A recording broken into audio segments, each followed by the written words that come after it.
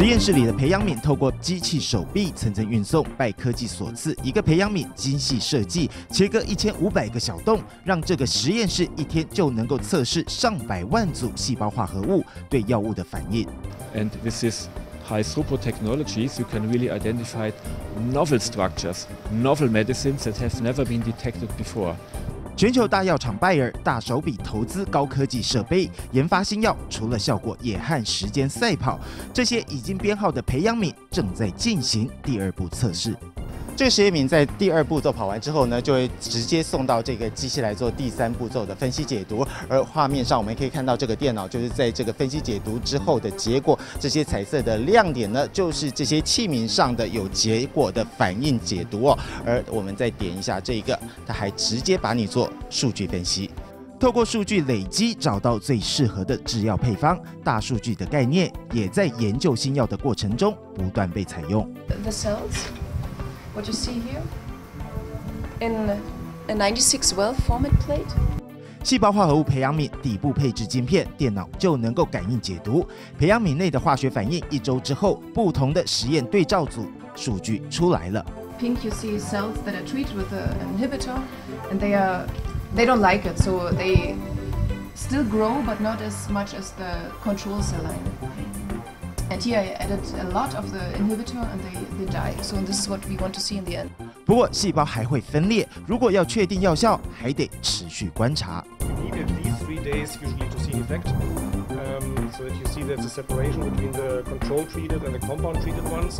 Um, but of course, um, you can also test it for longer time. 时间和数据的支持，才能让实验继续前进。不过，也因为医疗科技仪器大量发明和运用，让效率增加不少。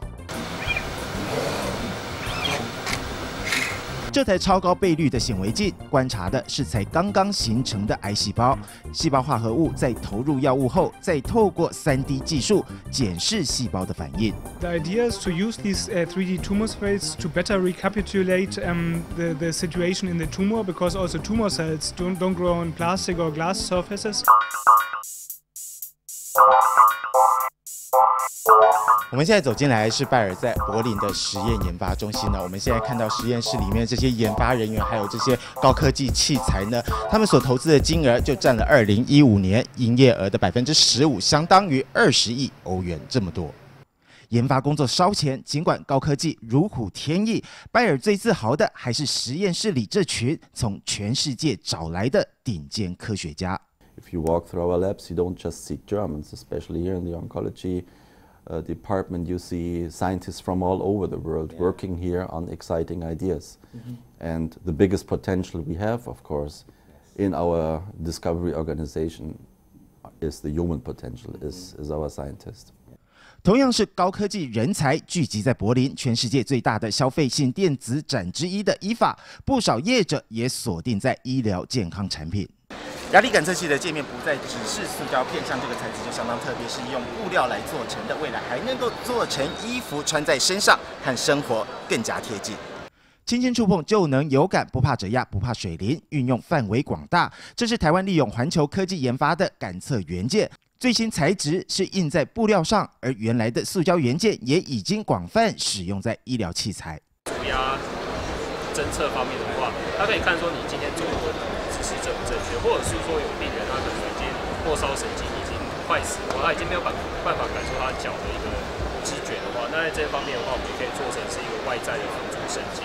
像这样的感应器，也有以色列业者和穿戴装置连接，侦测呼吸、心跳，观察使用者的睡眠和身体状态。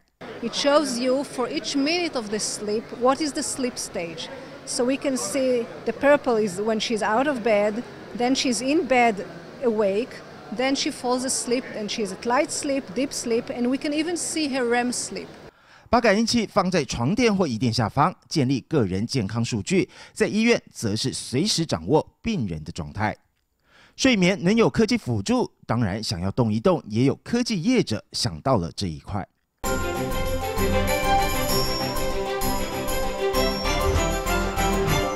扭腰摆臀，一下往前，一会儿往后，荧幕上的主角能不能获取宝物得分，全看你的姿势正不正确。If you're suffering from backache, um, you reduce your backache with with the training.